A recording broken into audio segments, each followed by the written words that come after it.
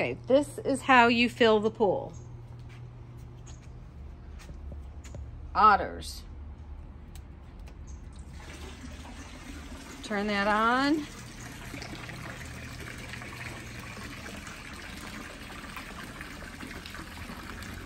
And the otters come on. We're gonna see if we can find a piece so that that one otter shoots out a little farther. And then come over here to this valve where it says waterfall. Turn that on. And then it turns on the waterfall. So that way you do not need the hose to fill the pool, you use that to fill the pool. And you can turn it on as you wish or turn it off as you wish. And then this other valve,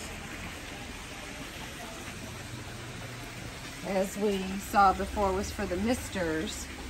So when you open that,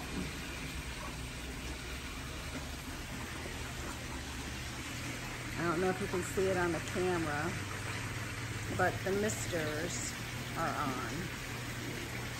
And it just, oh, there you go. That's a little better. Takes a little bit. And then the misters. And that's it. That's in case you want to use the misters. And that is how you fill the pool. Whenever the level gets low, if it evaporates, that's how you fill the pool.